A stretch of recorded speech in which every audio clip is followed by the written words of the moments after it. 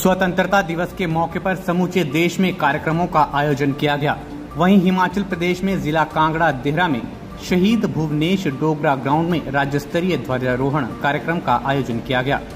मुख्यमंत्री सुखविंदर सिंह सुक्खू ने बतौर मुख्य अतिथि शिरकत कर राष्ट्रीय ध्वज फहराया और सभी प्रदेश वासियों को अठहत्तरवें स्वतंत्रता दिवस के महापर्व की बधाई एवं शुभकामनाएँ दी।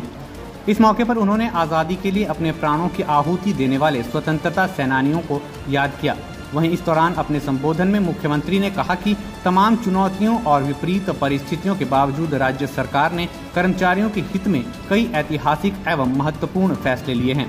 उन्होंने कहा कि इस वित्तीय वर्ष में पचहत्तर वर्ष या उससे अधिक आयु वर्ग के सभी पेंशनरों और फैमिली पेंशनरों को एरियर प्रदान किया जाएगा। कर्मचारियों के हित में बहुत से फैसले किए हैं। मैं घोषणा करता हूँ, इस वित्तीय वर्ष में पचहत्तर साल की उम्र के पेंशनरों और फैमिली पेंशनरों को सारा एरियर दे दिया जाएगा।